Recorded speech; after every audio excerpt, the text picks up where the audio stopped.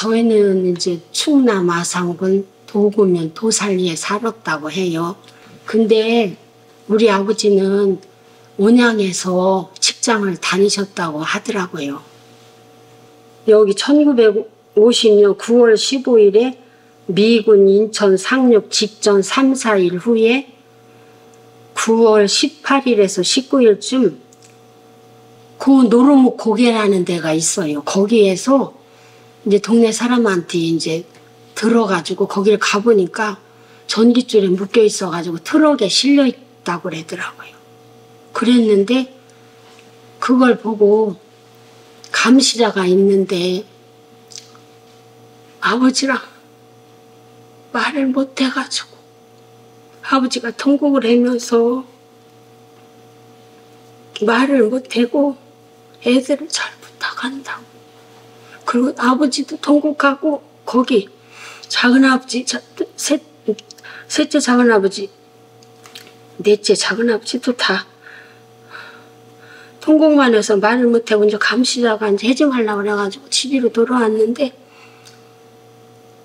식구들하고 참 한심을 못 잤대요. 그리고 새벽에 갔더니 벌써 차가 어디로 끌려가고 없어요. 근데 이제 나중에 온양에서 온양 예식장 하는 분이 우리 친척이 있어요.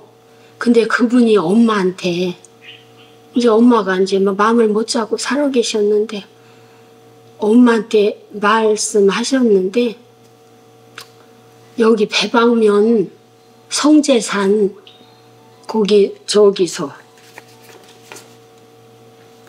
방공호 방공호에서 죽였다고. 그래갖고 언니가 이제 서울 사시는데 언니가 그 길을 지나가려면은 눈물을 흘리고 가슴이 막 이상하다고 그랬어요. 아버지가 여기서 죽었다는데. 근데 저는 엄마한테 그런 소리를 한 번도 들은 적이 없어요. 엄마가 이제 제가 나이가 결혼할 나이가 되니까 이제 동네에서 이렇게 맞선 보라고 하는데 차마 그 빨갱이라는 저기를 엄마가 이제 들었나 봐요. 그래서 그게 이제 발칵될까봐 말씀을 안 하셨더라고요, 저한테. 전혀 몰랐는데 나중에 언니가, 언니도 지금 살아계세요. 여든 다섯인데. 그러니까 언니는 열 살에 그런 거를 알고 작은 아버지는 열아홉 살에 그걸 보기까지 끌려가는 거는 못 봤지만 노루목곡에서 트럭에 전기줄에 이렇게 묶여 있는 거는 상, 저기 생생히 봤잖아요. 근데 말을 전혀 못했지. 감시자 때문에.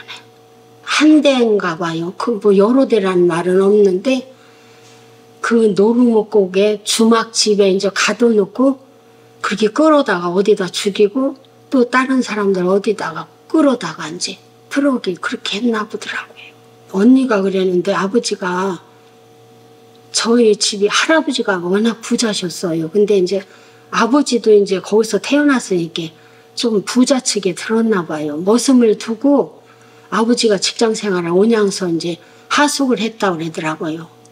근데 잘 살고 또 집도 반듯하게 저기 우리 산도 있는데 거기서 비오다가 반듯반듯 저희 제목이 반듯반듯 하더라고요. 집 진 거 보면은 그렇게 짓고선 이제 잘 살았는데 아버지가 이제 6.25 전쟁이 나니까 이제 직장을 못 다녔나 봐요. 다들 작은 아버지도 어렸는데 면석이었었고 두 분이 그래서 이제 집에 있었는데 어떤 분이 와서 자꾸만 뭐를 해라고 그랬나 봐요. 이런 걸 해라고 그랬나 봐요. 근데 아버지는 전혀 나는 못한다. 또 이제 그 사람들이 계속 왔나 봐요. 저희 집을. 근데 엄마한테는 얘기를 안 하시고 아버지가 나중에는 견디다 못해. 이제 그런 걸 안 하면 죽인다는 죽음까지 간다는 그런 얘기를 했는지 압력에 의해 여기는 강압적인 압력에 의해서 작은아버지가 했다고 그랬는데 할 수 없이 했나 봐요. 했는데 여기 그 사무직을 보다가 우리 아버지는 강압적으로 사무직을 보다가 이렇게 부역 경위로 돌아갔다 이렇게 나왔어요. 셋째 작은 아버지는 이제 면석이만 했다는 거 그것만 알지 어디로 가서 우리 아버지하고 가서 같이 총을 맞아서 돌아가셨는지 그거는 저희들은 저는 잘 몰라요. 모르고 그래서 넷째 작은 아버지는 그 작은 작은 그 작은 엄마가 선장에서 사셨어요. 그 집을 저는 알아요. 근데 그래서 거기 갔었던 건가 봐요. 엄마가 거기 계시니까 그래서 붙잡혔나 봐요. 거기서 공동묘지에서 붙잡혀서 총살당했다. 그래 작은 아버지가 그러셨어요. 그때 이제 이거를 아산시 유족회 신청을 하기 위해서 등본을 뗐는데 우리 아버지는 정말 거짓말로 집에서 9시에 돌아가셨다. 거기엔 그렇게 나왔어요. 우리는 시신도 모르고 어디로 간지도 모르잖아요. 그래서 아, 이건 완전히 거짓말이네. 이렇게 해서 마음이 더 아팠고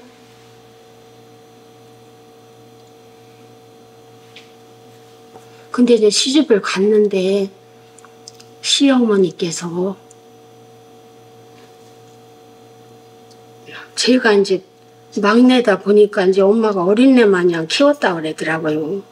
그래서 아무것도 못했는데 이제 못하는 와중에 무슨 말씀이 있으셔가지고 화가 나셨는데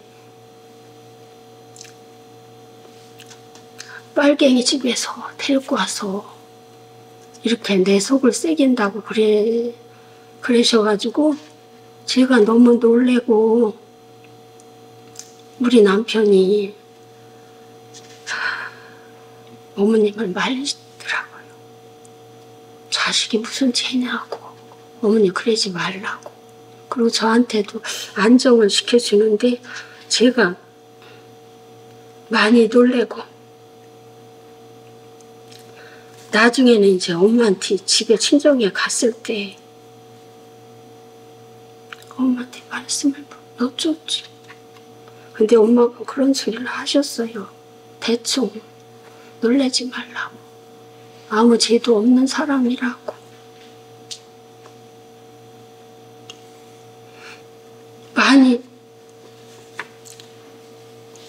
많이 아버지 생각이 났어요. 언니 말을 듣고 그러고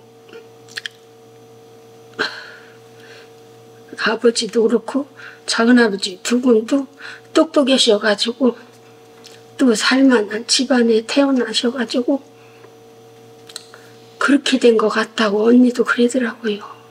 하고 싶은 일이 아닌데 죽지 못해서 한 거라고. 그리고 언니도 눈물을 많이 흘리고 그 사건 때문에 언니가 나중에는 언니도 이제 시집을 가서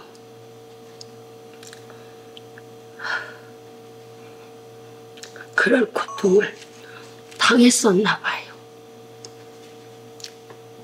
근데 나중에는 이제 잘 살았지요. 형부를 잘 얻어가지고.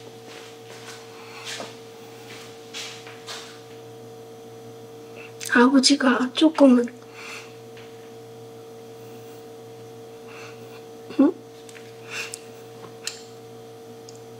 죽을 때 죽더라고. 엄마한테 그런 사회 좀 했으면 저기 있는데 엄마가 걱정이 될까봐 그랬는지 엄마한테 말 한마디 없으시고 이렇게 도망만 다니다가 할 수 없이 하신 것 같은데 조금 그게 아쉬워요. 많이 아쉬웠어요.